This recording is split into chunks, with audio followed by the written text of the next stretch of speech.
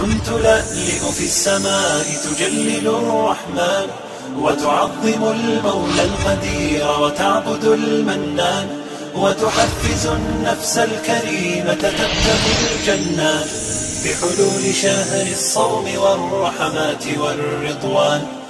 السلام عليكم ورحمة الله وبركاته. الحمد لله وكفى والصلاة والسلام على سيد الأنبياء أعوذ بالله من الشيطان الرجيم. بسم الله الرحمن الرحيم. قل يا أهل الكتاب تعالوا إلى كلمة سواء بيننا وبينكم. ألا نعبد إلا الله ولا نشرك به شيئا ولا يتخذ بعضنا بعضا أربابا من دون الله. فإن تولوا فقولوا اشهدوا فقول اشهدوا بأننا مسلمون. حضرات گرامی، مجھے جو چند معروضات آپ کے سامنے پیش کرنے کی ذمہ داری سونپی گئی تھی، وہ ہے قابل دیان عصر حاضر میں اس کا تعارف اور اس کی اہمیت و ضرورت۔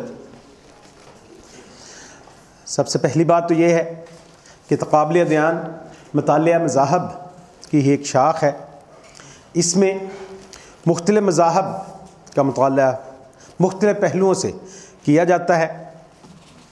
اور عام طور پر جو اس سے مراد لی جاتی ہے کہ مختلف مذاہب کے بنیادی عقائد، عبادات اور رسومات کا ناقدانہ اور عادلانہ جائزہ لیا جائے، جس سے ہر ایک مذہب کی قدر و قیمت، اس کی خوبیاں اور اس کی خامیاں پوری طرح سے عیاں ہو جائے اور اس کا بنیادی مقصد دنیا میں پائے جانے والے مشہور مذاہب اور معروف دیان کی تعلیمات کا غیر متعصبانہ تقابل اور غیر جانبدرانہ موازنہ ہے۔ یہ اس لیے کیا جاتا ہے تاکہ جو کوئی ان میں سے حق قبول کرنا چاہے اس کے سامنے حق واضح ہو جائے اور وہ اس راہ پہ اگر چلنا چاہے تو اس کے لیے وہ راستہ آسان کر دیا جائے۔ قابل ادیان اس کی تاریخ خود اتنی ہی پرانی ہے جتنی کہ مذاہب۔ اور اس لیے ہم دیکھتے ہیں کہ قرآن پاک یہ قابل دیان کے حوالے سے پہلی عالمی کتاب ہے اور قرآن پاک نے اس فن کی بنیاد رکھی ہے۔ جس میں قابل ادیان کے اسلوب، اصول اور اس کے طریقہ کار، اس کا پتہ چلتا ہے۔ اسلام میں قرآن پاک ہماری بنیادی نصوص میں شامل ہے، بلکہ بنیاد ہی ہماری قرآن پاک ہے۔ تو اس میں قابل دیان کے حوالے سے شاہ ولی اللہ رحمہ اللہ نے جس کی طرف اشارہ کیا ہے کہ ایک علم المخاسمہ انہوں نے ایک شاہ گردانی ہے، پانچ علوم پنجگانہ میں سے۔ تو اس میں جو غیر ادیان یا غیر مذاہب والے جن کا قرآن میں تذکرہ پایا جاتا ہے، ان کے ساتھ قرآن کیسے ڈیل کرتا ہے؟ ان کو مخاطب کیسے کرتا ہے؟ تو شاہ ولی اللہ رحمہ اللہ نے اس کے لیے علم المخاسمہ کی ایک ترکیب استعمال کی ہے۔ تو اس میں قرآن ان کے عقائد کا تذکرہ کرتا ہے اور ان کا تحلیلی، ان کا انالیسز تحلیلی جائزہ انالیسز کرتے ہوئے پھر ان پر نقد کرتا ہے اور اس کے بعد پھر انہیں ایک اللہ کی طرف دعوت دیتا ہے۔ چنانچہ مسلم تقابل دیان جو ہے، اس کی بنیاد ایک ہی بات پر ہے کہ دعوت دعوت دین۔ تو مسلم علم الکلام میں قابل دیان کا مقصد، بنیادی مقصد دعوت دین ہے۔ اور یہ دعوت دین کا ہی ایک جز ہے۔ اسی وجہ سے آپ دیکھتے ہیں کہ جو ہماری امہات الکتب ہے تفاصیر کی، ان میں بھی اور ان کے ساتھ احادیث مبارکہ کی کتب میں بھی ہمیں دیگر مذاہب، ان کا تذکرہ، ان کے عقائد کے حوالے سے اور ان کے جو ماننے والے ہیں ان کا تذکرہ ہمیں ملتا ہے اور اس کے متعلق ہمیں بنیادی باتیں قرآن اور احادیث کی جتنی بھی ہماری امہات القدب ہیں، ان میں کوئی بھی کتاب اس سے خالی نہیں ہے۔ اس کے بعد جو مسلم علم الکلام ہے، اس کے اندر ایک بہت بڑا ذخیرہ کتب جو ہے، وہ اس حوالے سے ہمیں ملتا ہے۔ اس میں سب سے پہلے جو میرے پاس، جو میری نظر میں ایک رسالہ گزرا تھا، وہ جاہز کا ایک رسالہ ہے، الرد علی النصارہ کے نام سے۔ اس نے کمپیرزن کرتے ہوئے مسیحی جو اعتراضات ہیں، ان کا جواب ان کے حوالے سے دیا ہے۔ جو اس سے پہلے کی کتابیں ہیں، اس میں مسلم دلائل کے ساتھ مسلم دعوت کو پیش کیا گیا ہے۔ جاہز نے جو ہے وہ مسیحی علم الکلام کی روشنی میں مسیحی اعتراضات کا جواب جو اسلام پر اور قرآن پر تھا، ان کی کتب سے تذکرہ کرتے ہوئے کیا ہے۔ تو وہ ایک ابتدائی کتاب ہے قابل دیان کی۔ اس کے بعد بہت ایک بڑا ذخیرہ جیسے میں نے کہا کہ وہ موجود ہے ہمارے سامنے۔ اس میں امام ابن حزم ہیں، امام شہرستانی ہیں قاضی عبد الجبار معتزلی، ان کے المغنی، ابھی وہ مکمل دستیاب نہیں ہوئی۔ اگر وہ کہتے ہیں کہ دستیاب ہو جائے تو وہ ان تقابل دیان کا ایک انسائکلوپیڈیا گردانا جائے گا۔ اس طرح سے مسعودی، اس کے علاوہ اگر ہندوستان میں آئے تو البیرونی، اس کی کتاب الہند اس کے بعد جو ہمارے مسلم اکابرین ہیں، ان میں ایک بہت بڑے نام ہیں، قاضی سلیمان منصور پوری، مولانا ثناء اللہ امرتسری رحمہ اللہ۔ اور بھی بہت سارے نام اس میں ہمیں ملتے ہیں۔ تو کوئی مسلم دور ایسا نہیں ہے جس کے اندر مسلمانوں کی طرف سے علم الکلام قابل دیان کے حوالے سے قلم نہ اٹھایا گیا ہو یا اس کے متعلق مباحث و نہ کی گئی ہے لیکن موجودہ دور میں جو عصر حاضر کے حوالے سے جب بات کی جا رہی ہے، تو تقابل دیان کا جو بحثیت مضمون یا اس کو بطور ڈسپلن وہ وہ نہیں ہے جو کہ ہمارا مسلم علم الکلام میں جو بیان کیا جاتا ہے۔ موجودہ تقابل دیان اس کو انگلش میں کمپیریٹیو اسٹڈی آف ریلیجنس کہا جاتا ہے۔ یہ بطور ایک ڈسپلن یا ایک سبجیکٹ کے، ایک مضمون کے، یہ مغرب سے درآمد شدہ ہے۔ اور اس کے جو بنیادی اصول ہیں، وہ بالکل مختلف ہیں۔ جو کہ ہمارے ہاں جو پائے جاتے ہیں اس حوالے سے۔ تو موجودہ چونکہ عصر حاضر میں تقابل دیان کی بات ہو رہی ہے، تو اس کے لیے اس کا تھوڑا سا جو موجودہ تقابل کمپیریٹو اسٹڈی آف ریلیجن ہے، اس کا پس منظر تھوڑا سا جاننا ضروری ہے۔ جب اٹھارہویں صدی میں مغرب جو ہے وہ آہستہ آہستہ اپنے کلونیل پیریڈ کی طرف بڑھ رہا تھا اور مسلم ممالک کی طرف اس کے قدم بڑھے اور فتوحات، جہاں پر اس نے جغرافی اور سیاسی فتوحات حاصل کی، وہیں پر یہ علمی طور پر بھی وہ آگے بڑھنا شروع ہوا۔ اور مسلمان، جو کہ پہلے یہ مسلمانوں کے پاس ذانو تلمز طے کرنے گیا، یورپ کے لوگ، وہ مسلمان اب ان کی طرف جانے لگے۔ لیکن اس سے پہلے داخلی طور پر ان کے ہاں ایک رینیسنس کا دور ہے نشت ثانیہ کا۔ تو اٹھارہویں صدی میں نشت ثانیہ کے بعد تقابل ادیان کے حوالے سے جو ایک خاص امپرومنٹ ہوئی۔ وہ کیا کہ اس سے پہلے مذہب کو بطور مذہب لیا جاتا تھا دین کے حوالے سے، جس میں الہیات یا تھیالوجی وہ بھی شامل تھی۔ لیکن جب اس کو بطور کمپیریٹیو اسٹڈی لیا جانے لگا، تو پھر تھیالوجیکلی جو ہے اس کو الگ کر دیا گیا اور مذہب کا جو ہے وہ سماجی عنصر کے لحاظ سے مطالعہ کیا جانے لگا۔ اور اس میں حق و باطل یا سرات مستقیم تلاش کی بجائے کہ سوشلی طور پر سوشلی اسپیکٹ اس کا کیا ہے؟ اس کی طرف زیادہ زور دیا جانے لگا۔ اور پھر مذہب کے، کسی بھی مذہب کے تاریخی مصادر و مراجے ان کی نشاندہی، ان پر زور دیا جانے لگے۔ چنانچہ، اس کو مذہب یا دین سے الگ کر کے جو اس کا ثقافتی پہلو تھا یا تہذیبی پہلو، اس کو زیادہ نمایاں کیا جانے لگا۔ اور یوں سمجھ لیں کہ اس کو مذہب سے زیادہ جو ایک سیکولر بیس کی طرف لیا جانے لگا اور اس کی بنیاد ڈالی ہے ایک جرمن سکالر ہے میکس ملر انہوں نے ان کی پچاس والیم میں ایک کتاب ہے secret text of the east اس میں جتنے مذاہب ہیں، ان کا جو مقدس متون تھے، مثلا قرآن پاک ہے تو اس کا اسلام ہے تو اس کا قرآن پاک اس طرح سے بائبل، اس طرح سے وید ہیں ہندوؤں کی گرنتھ، تو ان کے، اس نے انگلش میں تراجم کرا کے ان کو اکٹھا کمپائل کیا۔ یہ تقریباً اس وقت پچاس والیم میں مختصر میں تھی۔ تو اس کو ابتدائی جو ہے قابل دیان کی، مغرب کی کتابوں میں یہ گنا جاتا ہے۔ تو میکس ملر نے مطالعہ مذاہب کو ایک سیکولر بنیادیں فراہم کی اور اس کے لیے کمپیریٹیو اسٹڈی یہ ایک اصطلاح جو ہے نا استعمال کی گئی کمپیریٹیو اسٹڈی آف ریلیجن اس وقت چونکہ سائنس جو ہے وہ اس نے زیادہ غلبہ حاصل کرنا شروع کیا مغرب میں اور لوگوں کے جو مزاج یا اپروچ تھی اس کو سائنسی اپروچ کی طرف لے گئے۔ اور اس میں سائنسی تحقیقات کے اندر تقابل کا رجحان غالب تھا۔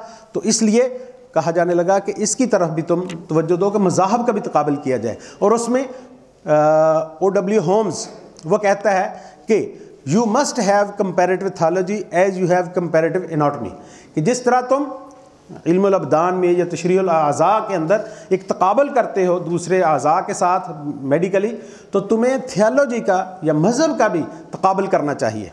چنانچہ میکس ملر نے اس چیز کو آگے بڑھایا اور میکس ملر کہتا ہے کہ گوئٹے کا ایک مقولہ ہے کہ ہی ہو نوز ون لینگویج نوز نن کہ جو صرف ایک زبان جانتا ہے وہ کچھ بھی نہیں جانتا۔ تو وہ کہتا ہے کہ اس کو ہم مذہب کے حوالے سے اپلائی کرنا چاہیے۔ ہی نوز ون ریلیجن نوز نن کہ جو صرف ایک مذہب کا علم رکھتا ہے وہ کوئی علم نہیں رکھتا۔ اور اس کے لیے ہمیں دیگر مذاہب کا بھی علم حاصل کرنا چاہیے۔ لیکن اس کے لیے جو سب سے اس نے اہم کام کیا کہ یونیورسٹیز، جامعات کی سطح پر مذاہب کا مطالعہ جو الہیات سے الگ ہو کر کیا جائے۔ جس کے اندر تھیالوجی نہ ہو، عقائد اور علم الکلام ان کو ڈسکس نہ کیا جائے، تہذیبی اور سماجی پہلو سے اس کے اوپر فوکس کیا جائے۔ تو آج کا جو موجودہ کمپیریٹیو اسٹڈی آف ریلیجن ہے، اس کی بنیاد یہ ہے اور یہ سیکولر بیسڈ ہے۔ مذہب کا مطالعہ مذہب سے باہر نکل کر کیا جائے، یہ اس کی بنیاد ہے موجودہ جو ہے کمپیریٹیو اسٹڈی کا۔ اور پھر اس کے لیے کیا کیا گیا کہ مذہب کو دیگر جو ڈسپلن تھے، جو سائنس ہے، ان کے ساتھ جوڑا گیا۔ اور ملٹی ڈسپلنری جو ہے، ان کی طرف نشاندہی کی گئی، جس میں تاریخ مذاہب ہسٹری آف ریلیجنز آ گیا سائیکالوجی آف ریلیجنز آ گیا سوشیالوجی آف ریلیجنز آ گیا اینتھروپالوجی آف ریلیجنز آ گیا۔ یعنی یہ مختلف شاخیں برانچز جو ہیں، ان کا مطالعہ جو ہے، وہ کیا جانے لگا۔ جس کے اندر خاص طور پر فنامنل اسٹڈی آف ریلیجن اس کو فوکس کیا گیا۔ تو پہلے تقابل تھا، تقابل کے بعد پھر جو ہے وہ دوسرا آگے رجحان بڑھا۔ کمپیریٹیو کی بجائے فنامنل اسٹڈی اس پر فوکس کیا جانے لگا۔ کمپیریٹیو میں ہمارے ہاں جو عام طور پر جو مسلم علم الکلام کے اندر ہے کہ دیگر مذاہب ان کے عقائد کے ساتھ تقابل ہے۔ افراد کا تقابل نہیں ہے ان کے معاشرے کا نہیں ہے۔ عقائد کا تقابل کرتے ہوئے پھر حق پیش کیا جاتا ہے۔ قرآن کے پورے کا پورا جو ہے اسلوب وہ یہی ہے۔ لیکن مغرب کے اندر جو ہے، جو وہاں سے یہ درامہ شدہ جو مضمون ہے ہمارے پاس آیا کمپیریٹیو اسٹڈی اس کی یہ بیس نہیں ہے۔ اس میں جو اس کا سوشل اسپیکٹ ہے، سماجی پہلو، اس کو فقط زور دیا گیا ہے۔ اور مذہب سے ہٹا کر۔ اب پھر کیا ہے کہ وقت کے ساتھ ساتھ نئے ٹرینڈز، نئے رجحانات جو ہیں مذہب کے مطالعہ کے اندر وہ سامنے آتے رہے۔ تو پہلے تقابل کے بعد جیسے میں نے عرض کیا کہ فنامنل سٹڈی، مظہراتی مطالعہ جو ہے نا مذہب کا، اس پر فوکس کیا جانے لگا۔ چنانچہ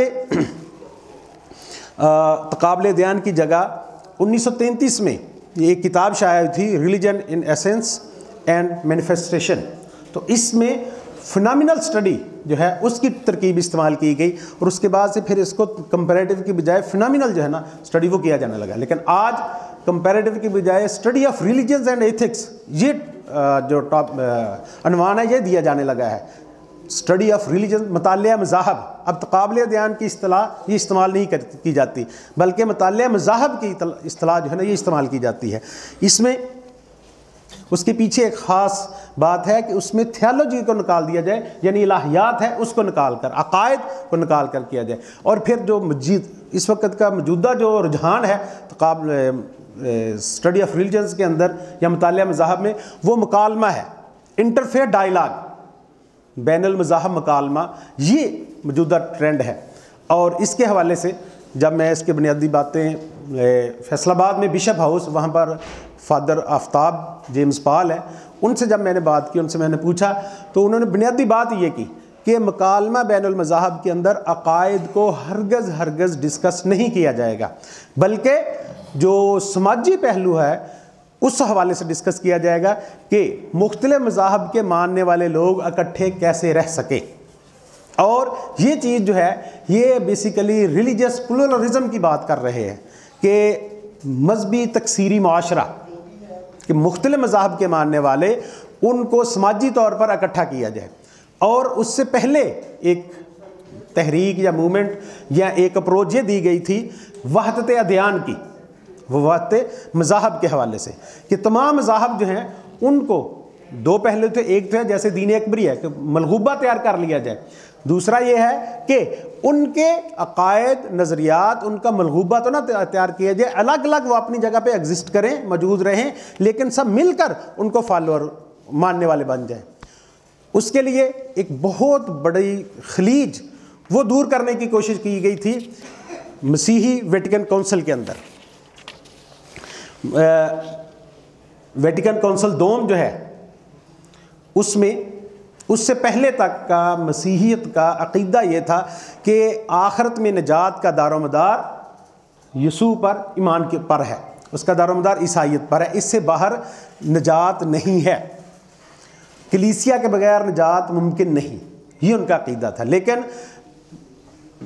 ویٹیکن مجلس دوم کے اندر یہ کیفیت بدل جاتی ہے اور جو مجلس کا اعلامیہ، جو عیسائیت کی موجودہ تاریخ میں نیسٹرا ایٹیٹا سوری یہ میں نام غلط نہ لے دوں جی محترم شیخ صاحب جو ویٹیکن دوم کا جو اعلامیہ ہے وہ لاطینی لفظ ہے نستور نوسترا ایتیتا لائک سم تھنگ اس طرح سے ہے جی وہ جاری ہوا اور اس میں پہلی دفعہ کلیسیا کی طرف سے آفیشلی یہ ایڈمٹ کیا گیا کہ نجات عیسائیت کے باہر بھی ممکن ہے the Catholic church rejects none nothing of what is true and holy in these religions کہ دیگر مذاہب کے اندر جو کچھ سچ اور پاک ہے، کلیسیا اسے ہرگز رد نہیں کرتی، اس سے پہلے کرتی تھی۔ یہ بیسیکلی بنیاد رکھی جا رہی ہے مکالمہ بین المذاہب کی انٹرفیئر ڈائلاگ کی۔ اس لیے آپ دیکھیں کہ آپ میں سے بھی اگر کچھ لوگوں کو واسطہ پڑا ہو کہ یہاں پر مختلف این جی اوز کے تحت بین المذاہب مکالمہ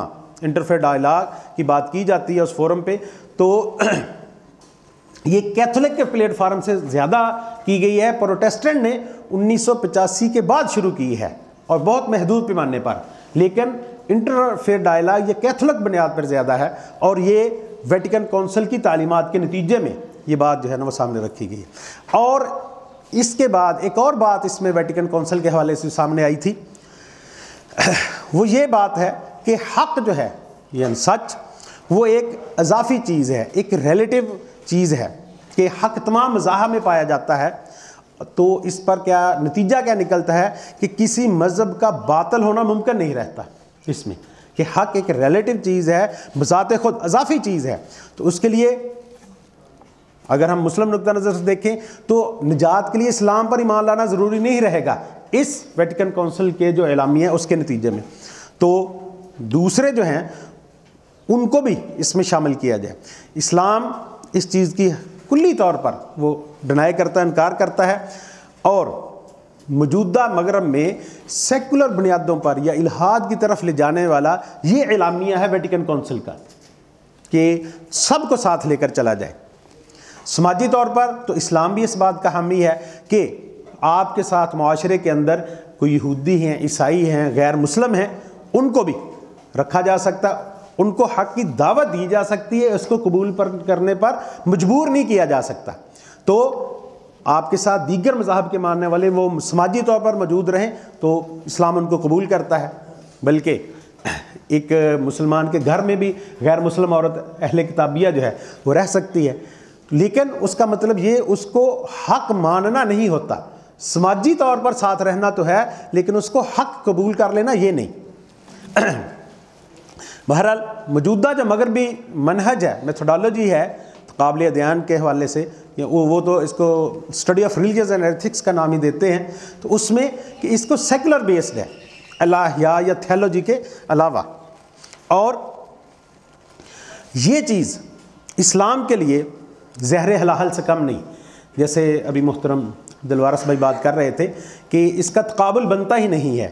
تو بالکل درست ہے ان کی بات کہ اسلام کا دیگر کے ساتھ تقابل، حق کا باطل کے ساتھ تقابل نہیں ہوگا۔ حق کی باطل کے ساتھ پیوریفیکیشن ہوگی، اس سے علیحدگی ہوگی۔ تو اسلام ہمیں یہ چیز سکھلاتا ہے کہ یہ حق ہے، یہ باطل ہے۔ اس کی علیحدگی۔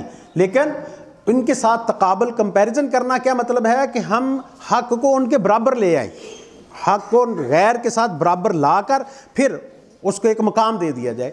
تو اسلام کی یہ اپروچ جو ہے نا وہ موجودہ تقابل دیان کی سائنس کے ساتھ نہیں ملتی۔ تو یہ بنیادی بات تھی جو ہمارے سمجھنے والی تھی تقابل دیان کے حوالے سے۔ تو مغرب کا اب جدید نیا جو ٹرینڈ ہے وہ ہے ریلیجس پرولرزم یعنی پہلے میں نے عرض کیا کہ کمپیریٹیو اسٹڈی کا بات چلی، اس کے بعد پھر فنامنل اسٹڈی اس پر سب سے زیادہ زور دیا گیا۔ ہے اس کے بعد پھر تقابل مکالماتی دور، وہ آتا ہے ڈائیلاگ کا دور ریلیجس ڈائیلاگ کا۔ اس کے ساتھ اب جس چیز کی طرف زیادہ زور ہے، وہ ہے ریلیجس پرولرزم کہ گلوبل، گلوبلائزیشن کے بعد کہ دنیا پوری ایک ولیج بن گیا، ایک گاؤں بن گیا ہے، تو اس کی گلوبل سویلائزیشن ہو اور گلوبل تھیالوجی ہو۔ گلوبل تھیالوجی وہ کیا ہے؟ کہ انسانیت ہیومنزم اس کو مد نظر رکھا جائے۔ یہ جو اصل گاڈ ہے یا جس کو ہم الہ کہتے ہیں، اس کی بجائے انسانی معاشرے کے اندر انسان کی مرکزیت ہو۔ اور اس کے لیے ایک تھیالوجی نا، وہ تشکیل دی جائے۔ اس کے لیے بنیاد کہاں سے ہو؟ بجائے نظریات کے، ہم افراد کے سوشل انٹریکشن، اس کو بنیاد بنائیں تو ریلیجس پلورلزم کے دیگر مذاہب کے افراد کے عقائد کو بھی ساتھ لے کر چلا جائے۔ یہ ایک اپروچ جو ہے یہ آج کل پروان چڑھ رہی ہے، بلکہ اس پر بہت زیادہ لکھا جا رہا ہے۔ لیکن سوری، ہمارے ہاں چونکہ مدارس میں ان چیزوں کی طرف توجہ یا نہیں ہے، یا ان کا سلیبس اس بات کی اجازت نہیں دیتا، لیکن جو موجودہ رجحانات ہیں، نئے ٹرینڈز ہیں، ان کو جاننے کی اشد ضرورت ہے۔ کیوں؟ کلم الناس علی قدر یقولہم اگر میں بات غلط نہ کہہ دوں کہ جو آپ کا مخاطب ہے، اس کی اپروچ کیا ہے، اس کی سائیکی کیا ہے، اس کو دیکھ کر آپ کو، اس کی دعوت دینی ہے، بات کرنی ہے۔ تو دعوت کے لیے دیگر مذاہب کا جاننا یہ بہت ضروری ہے۔ جہاں دیگر مذاہب کا جاننا بہت ضروری ہے، وہاں جو جدید رجحانات ہیں یا ٹرینڈز ہیں، ان کو جاننا بہت ضروری ہے کہ ایک آدمی آپ اس کو مخاطب کر رہے ہیں، اس کی سوچ جو اپروچ ہے جب تک آپ اس کو نہیں سمجھیں گے، آپ اس کو صحیح طور پر اپنا میسج کنوے نہیں کر سکتے۔ تو اس کے لیے قرآن بھی، قرآن کا سلوک بھی یہی ہے کہ افراد کی نفسیات سائیکالوجی کو مد نظر رکھ کر ان کو مخاطب ہوتا ہے۔ تو آج کے انسان کی جو سائیکالوجی ہے، مذہب کے اعتبار سے، مغرب کی سائیکالوجی کیا ہے؟ سیکولر بیسڈ ہے کہ مذہب ہر فرد کا ایک نجی معاملہ ہے۔ اس کا سماجی پہلو یا ثقافتی پہلو، اس کو زیادہ اجاگر کیا جائے، اس کی ہسٹری، تاریخ، مصادر، مراجع، ان کی طرف زور دیا جائے، جو عقائد اور نظریات ہیں، ان کے ایک سائڈ پہ رکھ دیا جائے، کہا کہ ہر آدمی جو بھی عقائد رکھ لے، بس ٹھیک ہے، اس کو ہم ڈسکس نہیں کریں گے۔ تو یہ موجودہ جو رجحان ہے، اس کے حوالے سے۔ تو اسی میں پھر پرولرزم آ جاتا ہے ریلیجس پرولرزم جو آج کا جو ایک موضوع ہے، آج کے تقابل دیان کا، کہ مذہبی تکثیری سماج، کہ ایک ایسا سماج جس کے اندر مختلف مذاہب کے ماننے والے ہوں اور وہ اکٹھے رہیں۔ اس کے لیے جو سلوگن دیا جاتا ہے کہ یونیٹی ود ان ڈائیورسٹی اختلاف اتحاد مال اختلاف اختلاف کے ساتھ ساتھ اتحاد ہو۔ اب جہاں تک بات ہو، اگر انٹرافیئر ڈائیلاگ کی، تو اس میں یہ ممکن ہے۔ دو چیزیں ہوتی ہیں، ایک ہے انٹرافیئر ڈائیلاگ دوسرا انٹرفیئر ڈائیلاگ انٹرفیئر ڈائلاگ ہے بین المذاہب مکالمہ، اور انٹرافیئر ڈائلاگ ہے بین المسالک مکالمہ۔ مختلف مسالک ان کے ماننے والوں کے درمیان مکالمہ۔ تو انٹرافیئر ڈائیلاگ کے اندر ہماری اساس ایک ہوتی ہے۔ اساس ایک ہے، فروعات کے اندر مختلف باتیں ہیں جو کہ اختلاف رائے ہے۔ رکھتے ہیں تو ان کے اندر بات کرنا۔ لیکن جب انٹرفیئر ڈائلاگ کی بات ہوگی بین المذاہب، اس میں اساسیات ہی مختلف ہے تو اس میں بات اساسیات کے حوالے سے ہونی چاہیے، نہ کہ مظہراتی مظاہراتی جو ہے یعنی جو ظاہری طور پر سامنے نظر آنے والی چیزیں ہیں، ان پر نہیں، بلکہ اساسیات پر۔ قرآن اساسیات پر بات کرتا ہے۔ تو جو موجودہ مذہبی تکثیری سماج کے حوالے سے جو باتیں ہیں، کہ اس میں جو اساسیات ہیں وہ نہیں، جو فروعات ہیں، ان کو بنیاد بنا کر ایک ہو کر چلا جائے۔ اسلام کہتا ہے کہ سماجی حوالے سے تو ٹھیک ہے، اساسیات کے اوپر جو بات ہوگی، اس میں حق اور باطل کی وضاحت کرتے ہوئے ان کی پہچان کروانی اور حق کی دعوت دینی، یہ بنیاد ہے۔ لیکن بہرحال آخر میں میں کہ جو موجودہ مطالعہ مذاہب ہے، اس کے حوالے سے جو اس کی اہمیت و ضرورت ہے کہ اس کے اندر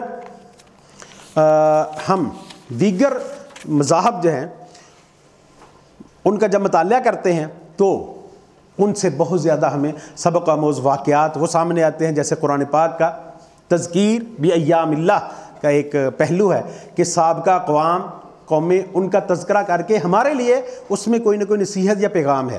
تو دیگر مذاہب کی جب ہم تاریخ پڑھتے ہیں، اس سے بھی کچھ چیز ہمارے سامنے آتی ہے۔ اس کے ساتھ ساتھ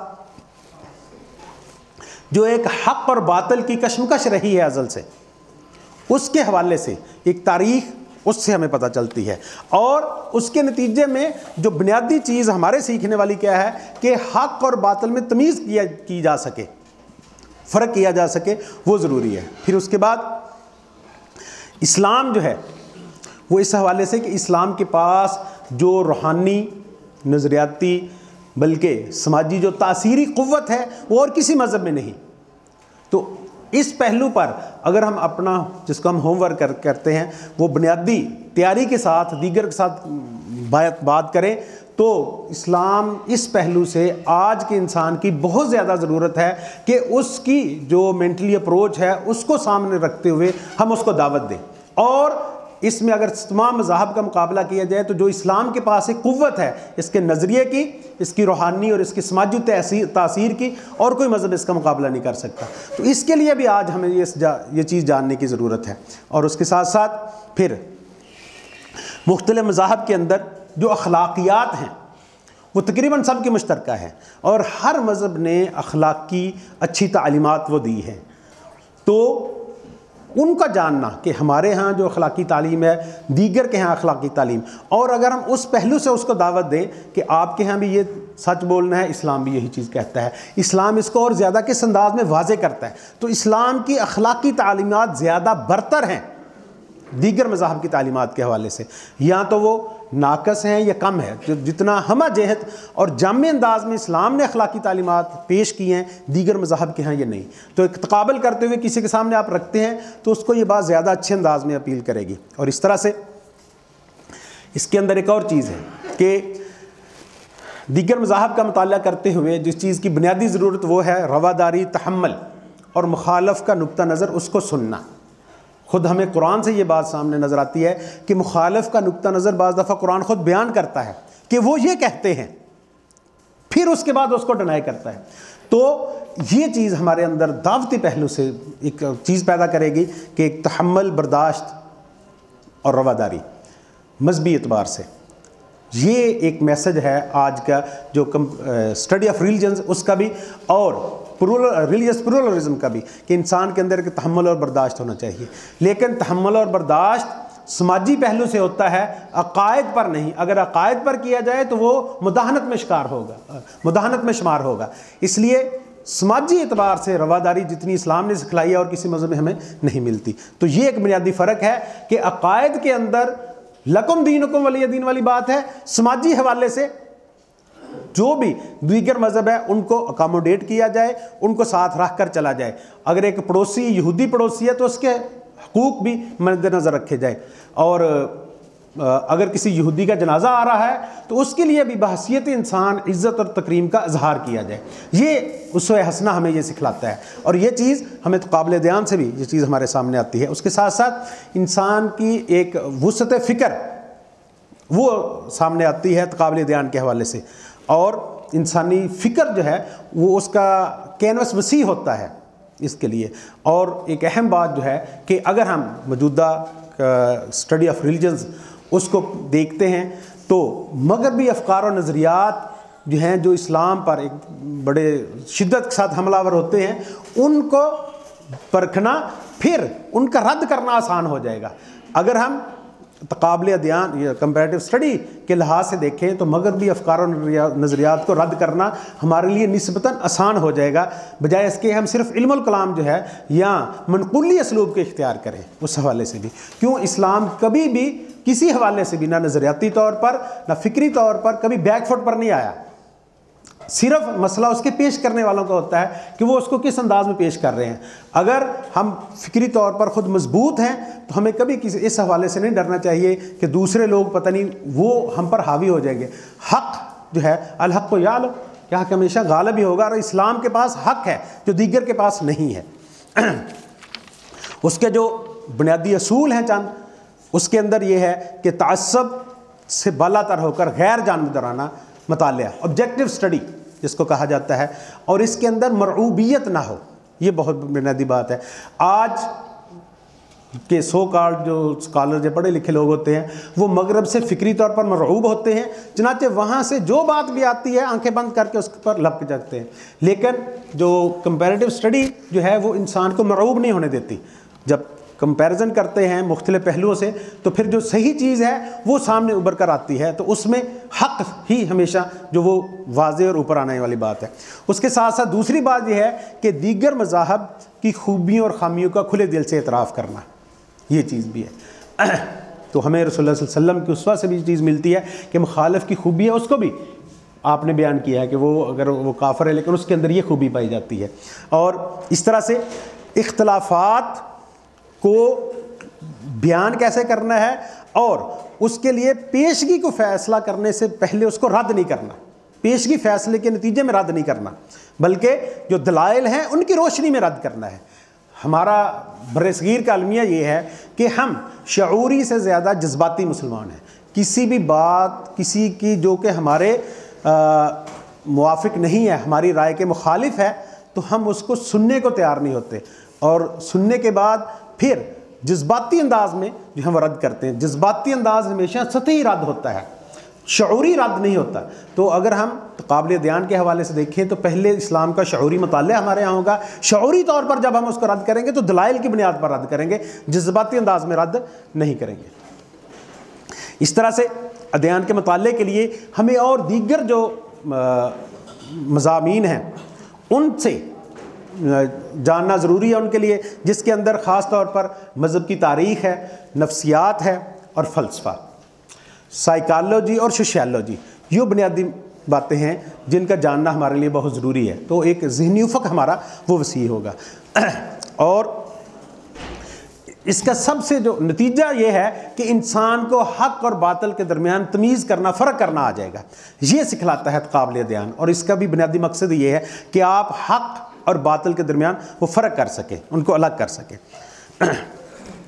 اور پھر جو بھی حق آئے، اس کو قبول کر لیا جائے۔ یہ قابل ادیان کے حوالے سے کچھ میری معروضات تھیں۔ وتعظم